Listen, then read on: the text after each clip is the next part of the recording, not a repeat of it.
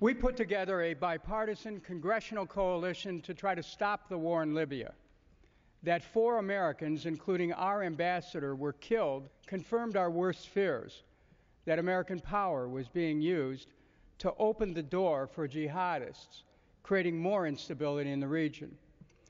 Congress still doesn't know why our people in Libya were left vulnerable. We still don't know why the U.S. military was not sent to their defense.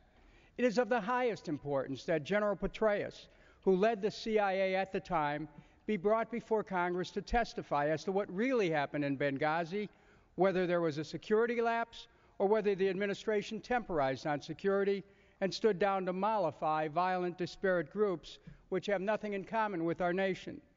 U.S. involvement in Libya is a disaster, compounded by the deaths of four Americans. It is imperative that we find out the truth about Benghazi, wherever it leads, whoever it affects.